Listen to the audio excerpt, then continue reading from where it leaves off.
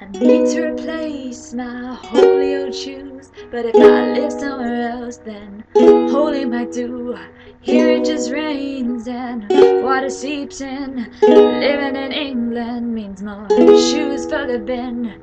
My socks disapprove out complete stubbornness To wear out my shoes till they're a terrible mess. My heels never heal and my soul is lost so Living in fear cause my shoes have a hole